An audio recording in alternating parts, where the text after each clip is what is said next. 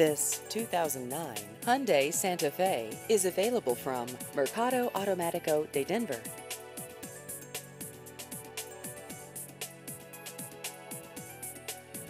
This vehicle has just over 45,000 miles.